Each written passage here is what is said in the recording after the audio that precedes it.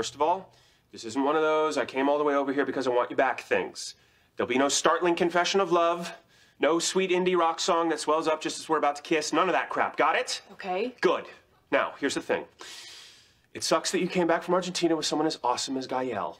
And I know I have no right to be upset at you. We're broken up, life goes on, whatever. But you know what? We we never did this. We we had this polite breakup with no irrational yelling, and, and that's just wrong. So I'm gonna yell irrationally for a little while, and you're just gonna have to stand there and deal with it, okay? If you feel like you need to do that, then. I think I do. I really think I do. So now I'm yelling. You shaved. I did. I liked the beard. I liked it too, but it was getting kind of hot. Maybe in the winter, I'll grow it back out. Okay, I'm done. I know it was weird showing up with Gael. I'm sorry. Look, us breaking up, it was the right thing.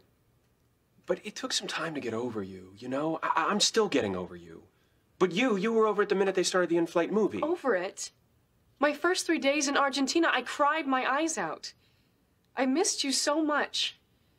I wanted to go and prove how adventurous I am, but the truth is, it was really lonely. And that's why Gael happened. You weren't trying to win the breakup?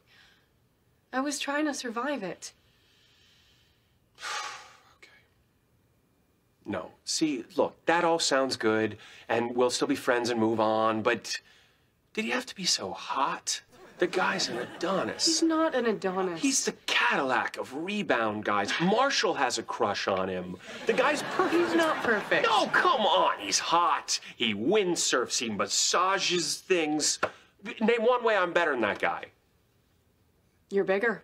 Don't patronize me. If anything, he may even be a little bit taller. No. Ted, you're bigger. I win! Kids, I can't remember exactly what helped me get through the whole Robin Gael incident. I'm sure that it was something profound and meaningful, and not at all macho and petty. But after that, I was back on my feet.